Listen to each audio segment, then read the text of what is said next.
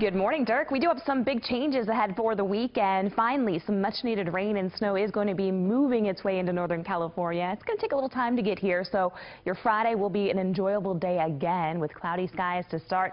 Mild temperatures right now. Sacramento, 56 degrees as you rise and shine.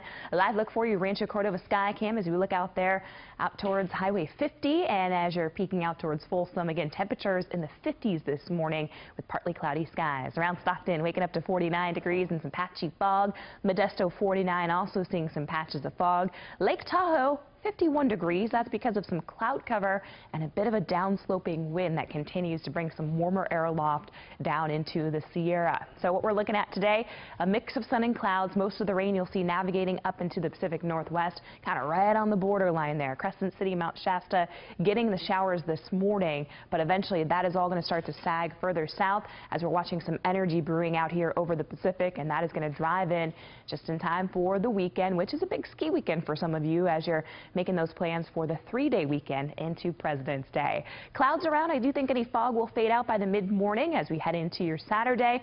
The morning will start out cloudy. Much of Saturday will be dry, so if you have plans and you have to get things done outdoors, should be no problem. But as the sun goes down, the rain starts to move in.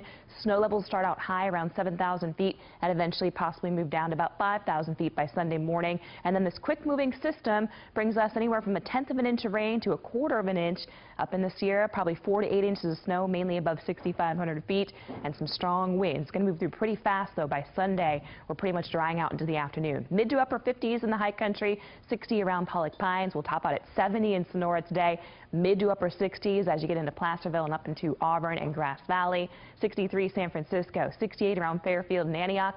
70 today in Modesto. I think we'll hit 68 around Stockton low 70s around Sacramento to 67 in Elk Grove, and we'll be looking at upper 60s in Folsom and Roseville. So cloudy and mild to start, partly sunny. We will see some breaks of sunshine, and that'll help to warm our temperatures to those 70s. Cooler tomorrow with mid 60s, and that rain arrives late in the day through Sunday morning. We're dry on President's Day, but then more rain next week.